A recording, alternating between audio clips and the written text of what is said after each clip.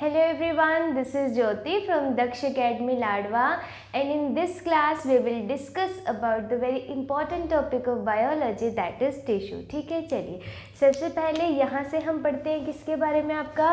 Tissue के बारे में यानी कि उत्तक के बारे में। इससे पहले वाली क्लास में बायो की क्लास में हमने जो है ना सेल के बारे में पढ़ा था है ना? कि जो कोशिका है वो क्या है? जीवन की संरचनात्मक और कार्यात्मक इकाई है मतलब structural and functional unit of life next हम यहीं से आगे कंटिन्यू करते हैं किसको? टिश्यू को। देखिए टिश्यू क्या है? सिंपल सा समझते हैं बिल्कुल कि पहले कोशिकाओं के बारे में पढ़ा तो जब बहुत सारी कोशिकाएँ आपस में मिलती हैं तो वो किसका निर्माण करती हैं?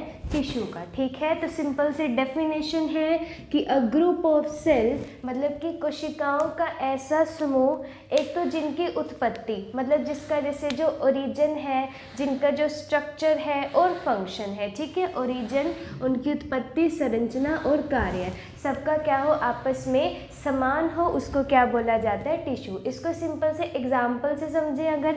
जैसे अगर मैं बात करूँ, हमारा जो किडनी है है ना, जो वृक होता है किडनी, उसकी जो आपका फंक्शनल यूनिट है, कार्यात्मक इकाई है, वो आपकी क्या होती है? नेफ्रोन ठीक है? नेफ्रोन्स होती हैं।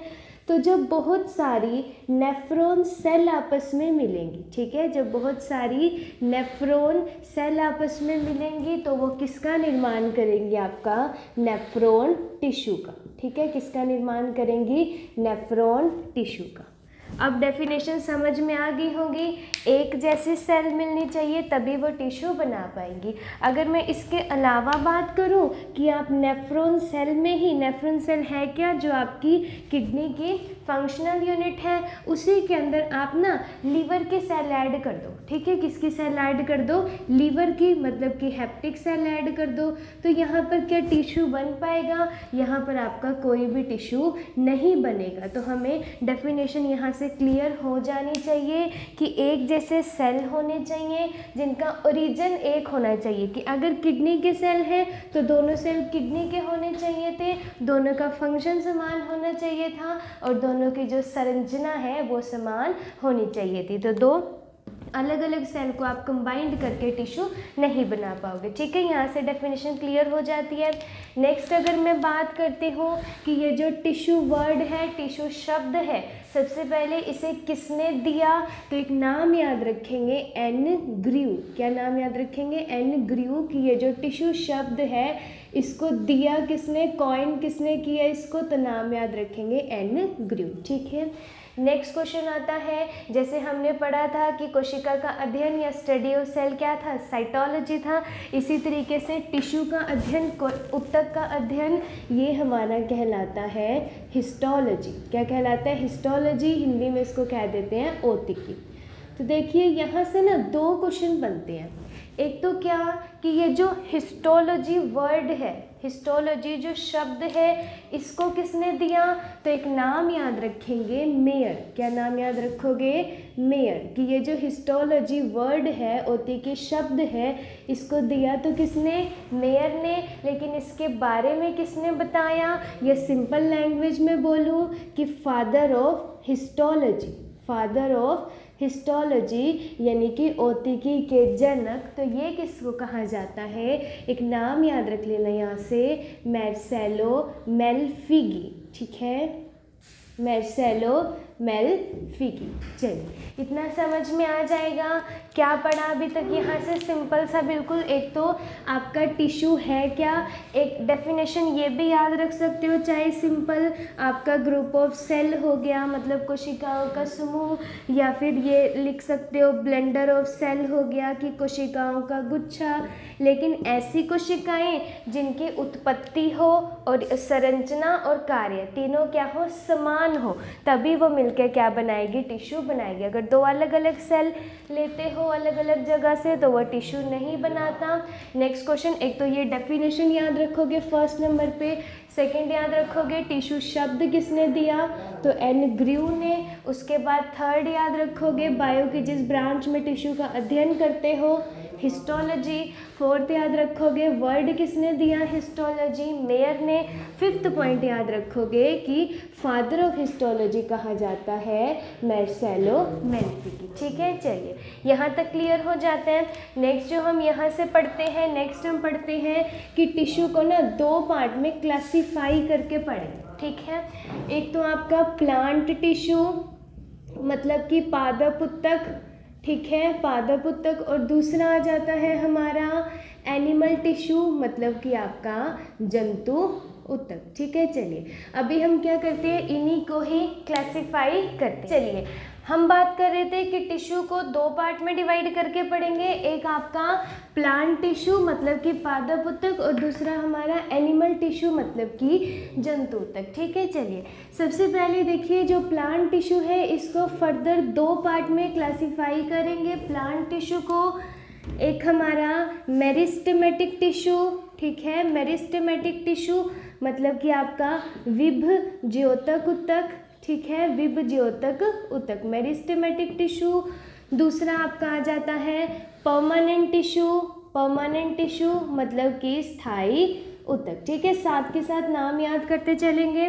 सबसे पहले अगर बात करूँ मेरिस्टेमेटिक टिश्यू की, इसको फर्दर जो है थ्री पार्ट में क्लासिफाई करके पढ़ोगे। एक आपका एपिकल इसके बाद आपका इंटर कैलरी और एक हो जाता है लेटरल। ठीक है, हिंदी में नाम लिख लेते हैं। एक तो शीर्ष इसके बाद आपका अंतर्दृष्ट, इसके बाद आपका पार्श्वीय। ठीक है, इस तरीके से। ये क्या हो जा अंतर्वृष्ट लिख लेना इसको। ये क्या हो जाते हैं हमारा मेरिस्टेमेटिक टिश्यू के तीन पार्ट नेक्स्ट अगर मैं बात करूँ परमानेंट टिश्यू की, इसको फर्दर इसको हम जो है दो पार्ट में क्लासिफाई करके पढ़ेंगे।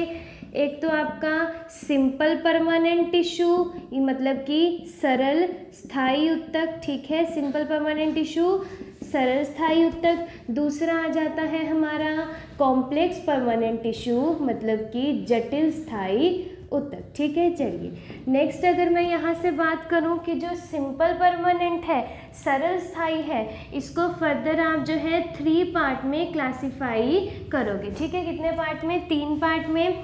सबसे पहले लिखिएगा parenchyma parenchyma. Next आ जाता है स्केलेरन काइमा और एक और नाम आ जाएगा यहाँ से कॉलेन काइमा। अभी हिंदी में लिखते हैं इनको।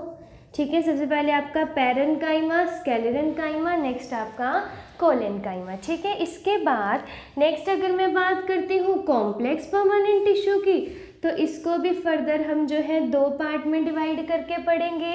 एक तो आपका जाइलम इसको हिंदी में भी जाइलम ही बोलेंगे भाई, जो पेड़ पौधों में पानी का परिवहन करता है डायरेक्ट क्वेश्चन आता है। दूसरा आपका फ्लोएम जो पेड़ पौधों में क्या करता है, खनिज व आपका भोजन का परिवहन करता है, ठीक है? उसके बाद यहाँ तक समझ में आ जाएगा, ये किसकी क्लासिफिकेशन है? तो ये हमारा प्लांट टिश्यू की क्लासिफिकेशन चलिए नेक्स्ट अगर हम इसकी हिंदी में बात करें तो देखिए, सबसे पहले अगर बात करती हूँ पैरन की तो ये क्या होता है हमारा? मृदोत्तक, ठीक है, मृदोत्तक। नेक्स्ट आ जाता है स्केलेरन काइमा मतलब कि दृढ़ोत्तक। और एक लास्ट कॉलन काइमा मतलब कि स्थूल कोणोत्तक, ठीक है, स्थूल कोणों तक, चलिए। ये हो जाती है किसकी क्लासिफिकेशन हमारा प्लांट टिश्यू पादप तक की। डायरेक्ट यहाँ से क्वेश्चन कैसे आता है? देखिए, आपको एक दे देगा कि जो इंटर कैलरी है, अंतर्वृष्ट है, ये किसका एग्ज़ाम्पल है या ये किस टिश्यू के अंडर आते हैं तो आपको याद रखना है मेरिस्टेमेटिक टिश्यू यानी कि प्लांट टिश्यू के अंदर। सिंपल सा है, बिल्कुल ये पूरे टेबल को लर्न कर लेंगे। नेक्स्ट आते हैं जो एनिमल टिश्यू है, इसको फर्दर हम जो है आगे चार पार्ट में डिवाइड करके पढ़ेंगे। सबसे पहले लिखिएगा एपीथीलियम एपीथीलियम एनिमल टिश्यू मतलब कि उपकला उत्तक। ठीक है, उपकला उत्तक। नेक्स्ट आता है आपका कनेक्टिव टिश्यू जहाँ से सबसे ज़्यादा क्वेश्चन आते हैं। कनेक्टिव टिश्यू मतलब कि संयोजी उत्तक। ठीक है, दो हो गया। तीसरा लिखिएगा यहाँ से आप मस्क्यूलर टिश्यू ठीक है मस्क्यूलर टिश्यू मतलब कि मांसपेशीय उत्तक। थर्ड क्लासिफिकेशन मांसपेशीय उत्तक। और एक फोर्थ नाम और याद रखेंगे। नर्व नर्वस टिश्यू मतलब कि तंत्रिका उत्तक, ठीक है? तंत्रिका उत्तक। अगर मैं थोड़ा सा इसका और डिटेल में लेकर चलूँ तो आपको छोटा सा पॉइंट और याद रखना है। जैसे एपिथीलियम टिश्यू है, देखिए, इसमें किस किस के बारे में पढ़ोगे? एक तो आपका जैसे स्क्वैमस एपिथीलियम हो गया, ठीक है? स्क्वैमस मतलब कि आपका सरलीकृत उपकला उत्तक हो जाएगा। इसके बाद आपका क्यूबोडियल उपकला उत्तक हो जाएगा। क्यूबोडियल मतलब कि आपका घनाकार, ठीक है? घनाकार हो जाएगा। एक और नाम याद रख लीजिएगा। कॉलमर एपिथेलियम टिश्यू मतलब कि स्तंभाकार उत्तक, ठीक है? चलिए। वैसे एक कॉम्प्लेक्स स्टेटिफाइड भी होता है, जिसकी हमारी स्किन बनी होती है, वो डिटेल में इसमें पढ़ेंगे। नेक्स्ट थोड़ा सा याद रख लीजिएगा कनेक्टिव टिश्यू में आप लोग क्या क्या पढ़ने वाले हो? देखिए डायरेक्ट क्वेश्चन आता है कि जो ब्लड है, रक्त है, वो किस तरीके का उत्तक है तो आंसर आ जाएगा कनेक्टिव टिश्यू ब्लड हो गया लिम्फ हो गया मतलब कि रसिकाएँ, ठीक है? लिम्फ के बाद याद रख लीजिएगा, आपका बोन्स हो गई, ठीक है? कार्टिलेज हो गया, जो भी बोन के ऊपर सॉफ्ट सा मटेरियल होता है, और इसमें याद रखिएगा एडिपोस हो गया, जो आपका क्या करेगा फैट वगैरह को स्टोर करेगा एरियोलर हो गया, इसके बाद आपका टेंडन हो जाता है। टेंडन से आपने याद रखना है कि जो बोन और मसल को आपस में जोड़ेगा बीटीएम से याद रख लीजिएगा बोन टेंडन मसल एक आपका लीगामेंट हो जाता है, जो क्या करता है, हड्डी को हड्डी से जोड़ेगा। बीएलबी से याद रख लीजिएगा। तो ये आपने सारा का सारा किसमें पढ़ना है? कनेक्टिव टिश्यू में। ठीक है। उसके बाद नेक्स्ट अगर बात करते हैं देखिए नर्वस टिश्यू की मतलब कि तंत्रिका उत्तक की यहाँ से आप किस किस के बारे में पढ़ोगे? एक तो ब्रेन के बारे में मतलब मस्तिष्क के बारे में दूसरा जो भी स्पिनल कोड है उसके बारे में। इन दो चीज़ों के बारे में और नर्व्स वगैरह के बारे में।